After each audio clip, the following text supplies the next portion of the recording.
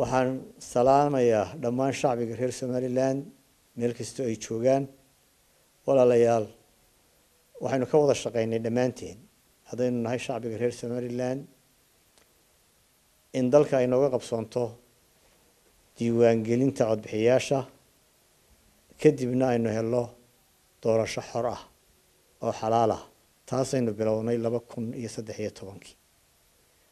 Waxaa yaandaro ah inaanay noo qabsoomin doorasho xor ah oo xalaal ah saddex iyo tobankii novembar two thousand seventeen. Dhacdooyinka soo qaadan doona waxaa ka mid ah in la xidhxidhay mas'uuliyiin iyo taageerayaal tiro badan oo xisbiga waddani ka tirsan intii ka dambeysay saddex iyo tobanka novembar iyo maalintii doorashadu socotay qaar ka midna guryahooda loogu daatay goor habeenimaah arrintaasi waa arrin aanaan la aqbali karin oo la qaadan karin. Arrintaasi waxay abuuri kartaa xaalad amniga wax u dhinta. Sidaa darteed waxaan soo jeedinayaa in muwaadiniintaas si deg deg ah xorriyaddoodii oo taama loogu soo celiyo. Walaalayaal doorashada madaxtooyada ee jamhuuriyadda somalilan ee noo qabsoontay saddex iyo tobanka nofembar waxaa ku gadaaman madmadow fara badan kaasoo dhaliyey musuq maasaq iyo ku-shubasho baahsan oo ka dhacday dhammaan degmo doorashooyinka somalilan waxaana tusaale u soo qaadan karnaa dhacdooyinkan. Maalintii doorashada waxaa ilaaliya ilaaliyayaasha ama goobjoogayaasha xisbiga waddani soo gudbiyeen kun iyo laba boqol oo dhacdo oo isugu jiray dhib loo geystay iyo hadidaad ama gacanka hadal iyo khaladaad ku saabsan habsocodka doorashada. Waxaad ogtihiin in xataa horjoogayaasha caalamiga ahi ay qireen in carruur da-doodu ay ka yar tahay da-dii loo ogolaa oo toddoba jir ilaa dhowr iyo toban jir. Ay codeeyeen.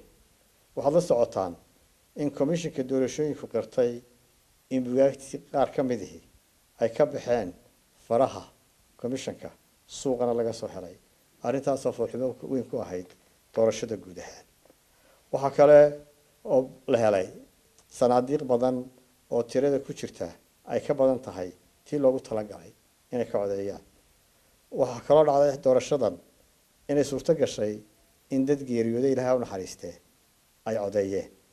Waxaan shacbiga reer somalilan iyo taageerayaasha xisbiga waddaniba u xaqiijinaynaa una sheegaynaa inaanaan aqbali doonin xaqdarro iyo wax sharciga baalmarsan hase yeeshee waxaan ku wargelinaynaa taageerayaasha xisbiga waddani inaan xaqiijinta helitaanka xuquuqdooda u mari doono dariiq silmi ah oo nabadeed.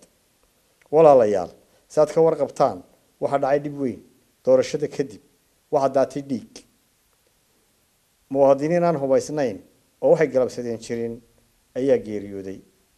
Waxaa cusbatallada hargeysa iyo burco jiifa dad dhaawac halisi uu soo gaadhay.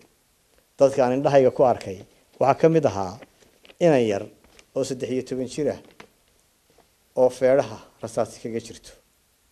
Waxaa ka mid ahaa inan yar oo lix iyo toban jir ah oo sida naloo sheegay dhuxul u doonaysay reerkooda.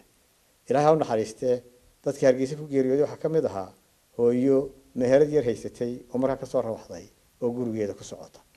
Taasi waxayna tusaysaa inaan rasaas aan loo miidaan yeelin shacbiga loo adeegsaday.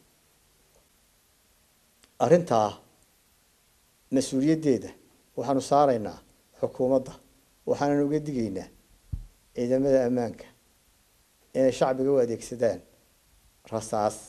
Dad aan hubaysnayn si aan dhib u soo gaadhin shacbiga ay ka mas'uul yihiin ammaankooda walaalayaal maanta uma baahnin in dhiig dambe daato uma baahnin xaalad amni darro ah inay abuuranto uma baahnin in walaalnimada iyo midnimada shacbiga somalilan dhaawac soo gaadho waxaan uga digayaa mas'uuliyiinta xukuumadda iyo xisbiga kulmiye inay ka fogaadaan arrimaha kicitaanka iyo xaalad abuurka ay faraha kula jiraan oo ay ka mid tahay xadhigga aan sharciga ahayn ee mas'uuliyiinta iyo taageerayaasha xisbiga wadani iyadoo dalku ku jiro xaalad xasaasi ah.